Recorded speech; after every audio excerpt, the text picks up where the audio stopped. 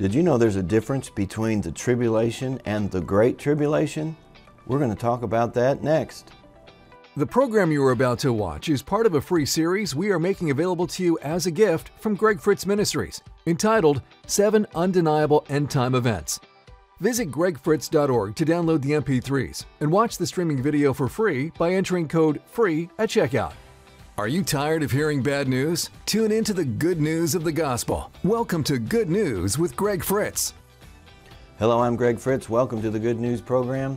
We're continuing our series on end time events. We've entitled this Seven Undeniable End Time Events. We're going to list them on the screen. We're now at number four, uh, the tribulation. And we've divided it into two sections the first three and a half years and the second three and a half years because the Bible does. And we'll explain that to you uh, as we go through this program. But the uh, seven end time events are events that almost all Bible scholars agree will happen. The disagreement is on their timing or the order. And so we teach them as separate events that you can order however you see fit. If you see it in a different way, doesn't change the fact that there's going to be a second coming, or that there's going to be a tribulation, or that there's going to be a millennium. And uh, if you see it in a different order, you could just move those into a different place. But the, the contents of that event are still the same. And so we can teach them that way and, uh, and really cross a lot of, uh, of different fences and a lot of different beliefs as long as, you know, I, I'm just not that dogmatic about it. Because here's the thing about end time events they're going to happen the way God decides they're going to happen, and we can't change that. And nothing we say or do is going to change it. So uh, I'm excited about watching these things unfold, and being informed about them is helpful because uh, things are lining up right now, nations are lining up, prophecies being fulfilled. And the time of, uh, of Jesus' return is closer than it's ever been. So get the study notes. I've done a lot of work getting this organized for you, making it simple and streamlined. Uh, it's like one of those big end time books without all of the comments. Uh, we've just got the, the events and uh, the order and all the scripture references for you, and I think it would be a blessing to you. If you'd like to get this video series, we're doing 20 sessions on this. You can get it in USB format if you uh, call or order it from our website or you can download the, the audio and you can stream the video free of charge. That's in our free, uh, free download section in our product page on the website. So uh, take advantage of that. We're going to go through these three, these seven vials or bowls of wrath, and uh, it's going to get intense, but we're going to make it through and we're going to come out on the other side, I promise. Um, it, there's a few events that happen just before the vials or the final seven judgments are poured out. Remember, there were the seals that were opened, then there were the trumpets that were blown, the seven seals, seven trumpets, and now seven bowls. And uh, this begins the second half of the tribulation, which is called the Great Tribulation. So the events before the vials are poured out was Satan was defeated in the heavenlies and cast to the earth. So he's totally focused on planet Earth the people here. The 144,000 witnesses from the tribes of Israel are raptured and they rejoice in heaven in Revelation 14. And then angels are going to proclaim the gospel in Revelation 14. That's not happened before. That didn't happen in this dis- dispensation, and it won't happen until, um, until Revelation 14 when angels will preach the gospel. And one of the things that you see in the tribulation, before you get the wrong idea about God, He has withheld His wrath and His judgment all these years, over 2,000 years. And even as His wrath is poured out on the earth because of sin and rebellious humanity, He's still doing it so that people would turn to Him. And I gave you my my salvation experience, I turned to God and it was just a little outburst of anger and, and repentance as, as a boy. It didn't take me half a tribulation to turn to God. It was just one event and my heart was broken and I accepted Jesus. Many, most of you watching uh, this program have had a similar experience. You got saved in this dispensation. You didn't need signs and, and, and wrath, and you didn't need to have the devil scared out of you. But uh, people in the tribulation will be turning to God as these things are poured out, and it's because of the mercy of God. You know, God could have made this very anticlimactic, and He could say tomorrow, okay, it's over, and just stopped and sent everyone else to hell and brought the church to heaven and been done with it. But the fact that He He's striving with people, with, with hard hearted people, hard headed people, to try to convince them. To me, the, the tribulation, the seven years of tribulation, is just a picture of God's desire to see humanity saved. Uh, there's no other reason to go through all this uh, other than giving people a chance, a second chance, a third chance, a fourth chance. So uh, the second half of the tribulation begins with the opening of the vials, which we're going to go to, seven vials. Jesus even pointed out the difference between the tribulation and the great tribulation. Jesus said, When you see the abomination of desolation spoken of by Daniel, this is Matthew 24 15, when the vials are open, the Antichrist is going to enter the Jewish temple and say, I'm God. This is going to be at, at three and a half years. So, in the beginning of the tribulation, the Antichrist will come to power and make a covenant with Israel, a peace treaty, and the world will be at peace, seemingly. At three, and then Israel's going to rebuild their temple and re, re-begin, redo their sacrifices. They're going to renew their relationship with the God of Abraham, Isaac, and Jacob. They're going to worship Him in the Old Testament fashion at three and a half years, the Antichrist is going to come into the temple and say, I'm God, worship me. He's going to require everyone, you know, to worship him. He's going to abolish the one world religion that he brought into power. He's going to enforce this the mark of the beast 666 and he's going to demand absolute worship. And uh, this will be the last half of the tribulation which the Bible calls the Great Tribulation. So it's even worse than what we've covered up to now. In Revelation 15, we'll start there and we're going to run through these, these vials of wrath or bowls. A vial is a bowl. And um, it says in Revelation 15 1, I saw another sign in heaven, great and marvelous, seven angels having the seven last plagues, for in them the wrath of God is complete. So uh, this is the announcement of these, um, these seven bowls. We're going to skip to uh, chapter 16 and verse 1. Then I heard a loud voice from the temple saying to the seven angels, Go and pour out the bowls of wrath, of the wrath of God on the earth. So the first bowl was poured out upon the earth, and a foul and loathsome sore came upon men who had the mark of the beast and those who worshipped his image. Now, at this point, I'm not sure that there's any hope for those people. Um, I, I, think they've made their choice. The second bowl uh, was poured out, the angel poured out that bowl on the sea, and it became blood as of a dead man, and every living creature in the sea died. So, you know, when we and this is what I would always refer to when, when, when you're dealing with people that are saying that God's judging the earth through a natural disaster, a tornado or a hurricane or an earthquake, and they say it's an act of God and God was judging New Orleans with Hurricane Katrina. People actually said that, preachers actually said that. My response has always been when God judges the world, you won't have to ask, was it God? You won't have to wonder. This becomes crystal clear that, that God is doing this. And, and there's no doubt. He's not hiding behind it, He's not hiding behind religion. Uh, he's full force pouring out His wrath on the earth, and there's no question that this is God. I mean, uh, he, he poured out this second bowl, and the entire sea became blood. Every creature in the sea died. Man, that's different than a flood flooding out businesses and homes in certain neighborhoods. It's not even in the same category. God is not, you know, this is a, disp- we're still in the dispensation of grace. God is here to, to save and to heal and to, and to restore. anything that kills and steals and destroys is of the devil. Uh, whatever Jesus came to give life, those life giving things are from God.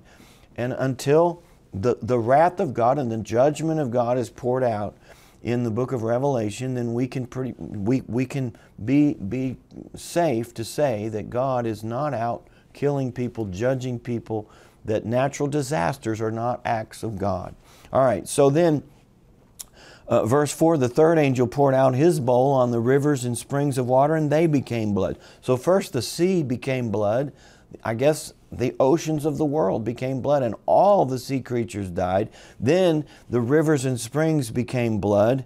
And I heard the angel of the waters saying, You are righteous, O Lord, the one who is, and who was, and who is to be, because you've judged these things. For they have shed the blood of saints and prophets and you have given them blood to drink. It is their just due. So finally, now, in, in the history of, of the church, or, or since the New Testament began, people are getting what they deserve.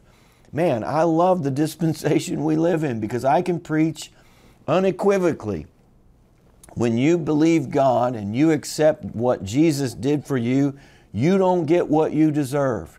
You get what you believe for. Well, that's going to change. There's coming a point in time where that's going to reverse and people are going to get what they deserve. And um, that's why I don't believe the tribulation is for us because we're never going to get that. Uh, Jesus set us free from having to get what we deserve in life. And uh, these people are getting what they deserve. Verse 7 And I heard another angel from the altar, or another from the altar, saying, Even so, Lord God Almighty, true and righteous are your judgments. So there's nothing that God's going to do that's not true or righteous. He's going to be justified in all of these things. Then in verse 8, the fourth angel poured out his bowl on the sun, and power was given to him to scorch men with fire. And men were scorched with great heat, and they blaspheme the name of God who has power over these plagues, and they did not repent and give him glory. And so, you know, that's just a, a, great example there of, of, of rebellious humanity.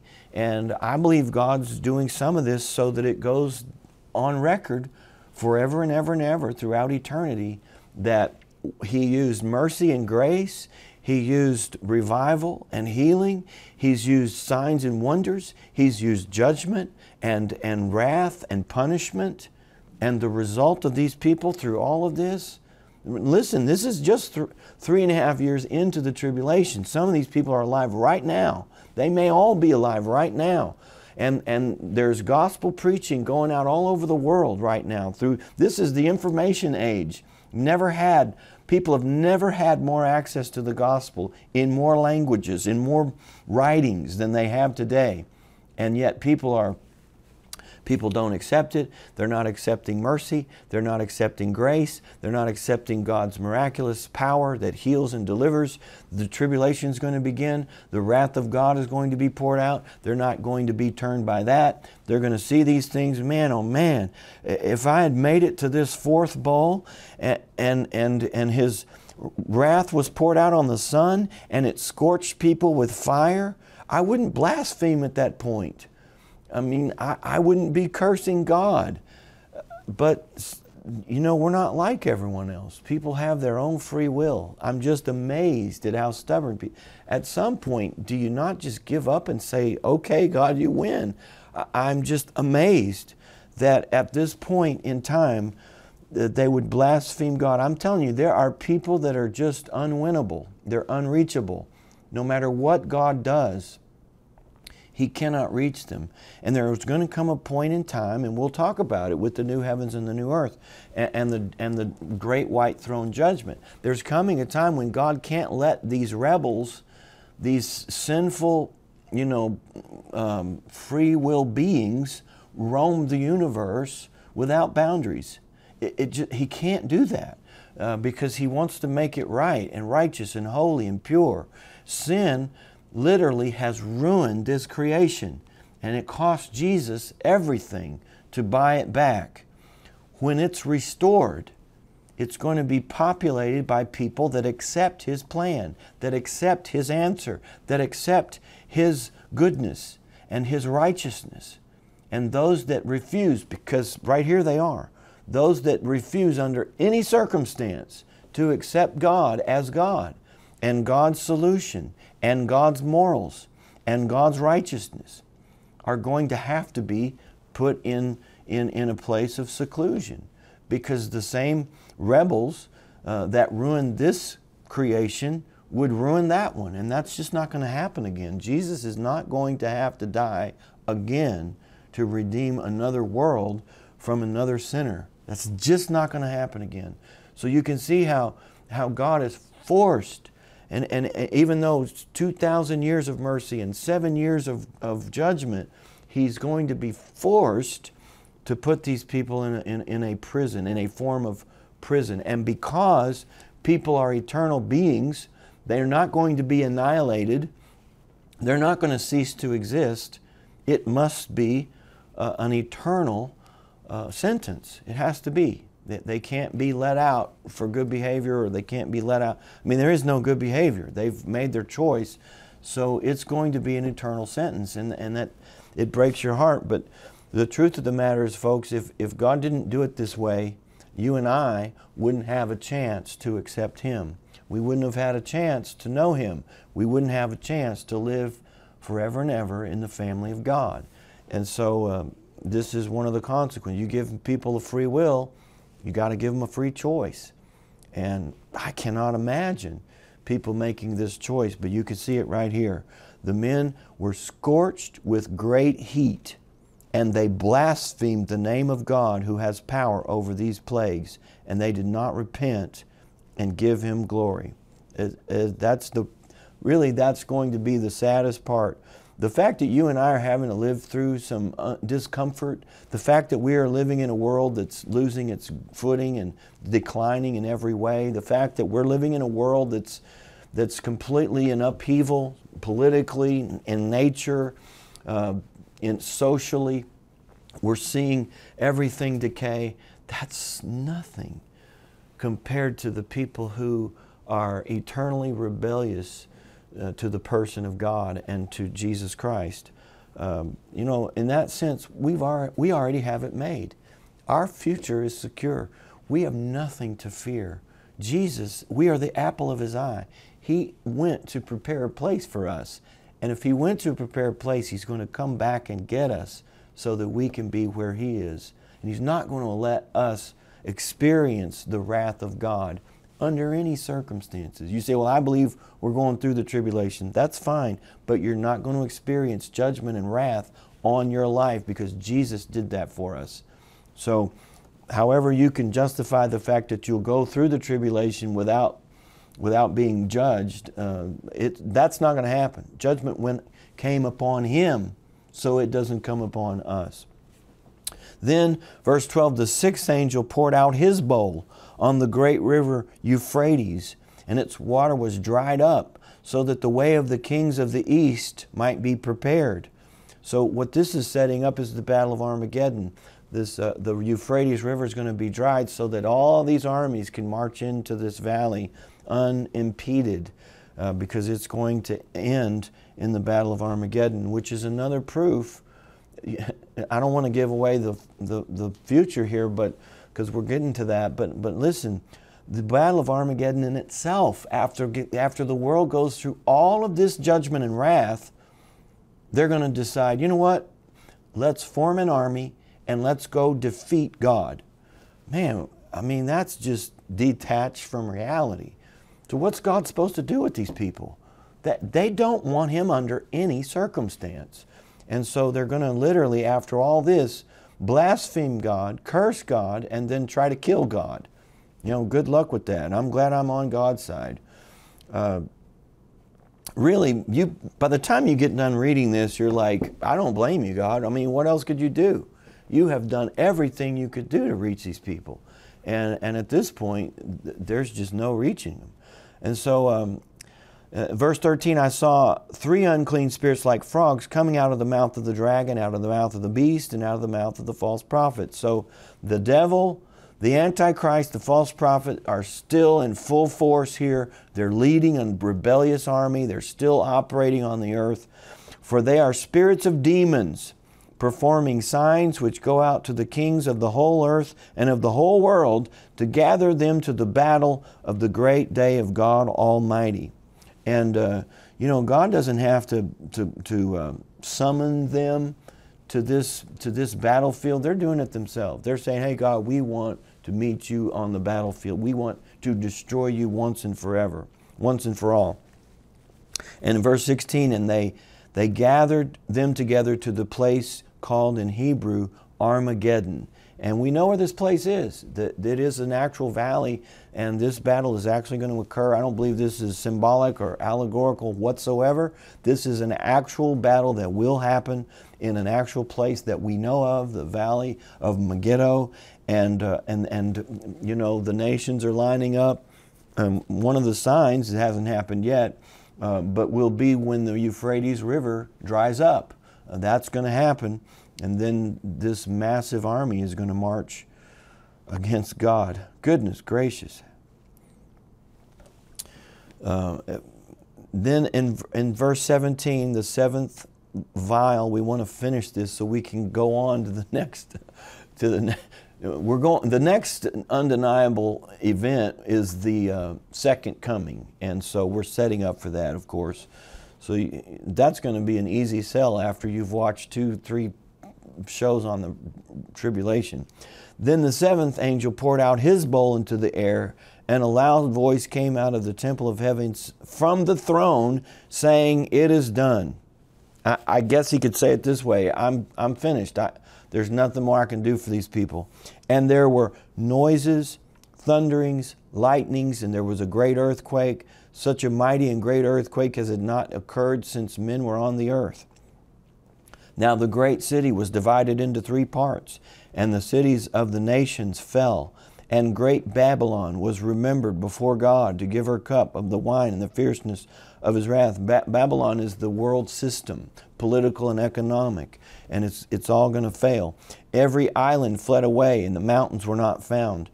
Great hail from heaven fell upon men, each hailstone the weight of a talent. Men blasphemed God because of the hail. After all that, they're going to they're going to be upset over hail.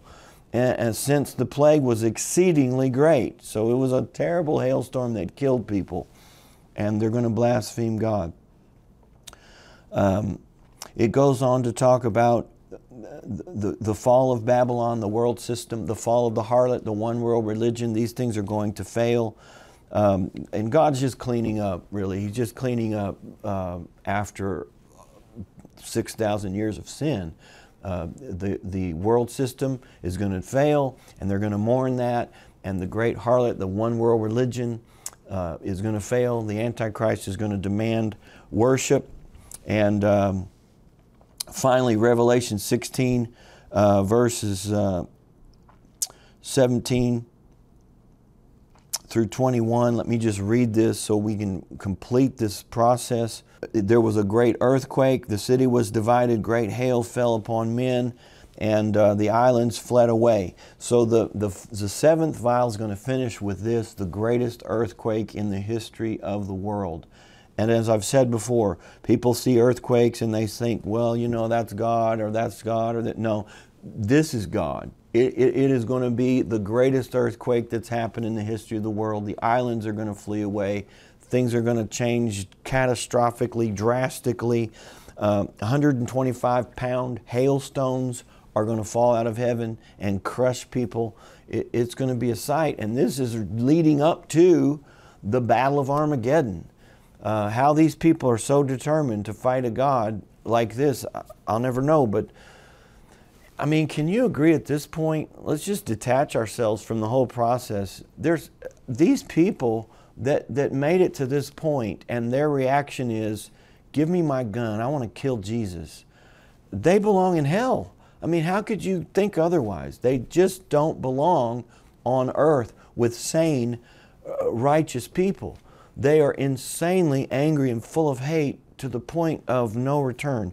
And uh, Joe Morris said this, and we'll, we'll close this, this section with this, and we'll talk about the second coming, and the Battle of Armageddon, in the next session. But he said this As bad as hell on earth is for seven years, that would be the tribulation, and we've completed all these horrible uh, outpourings, the seals and, and the trumpets and the vials. It's terrible. But as bad as it is, it's far better than living in hell eternally.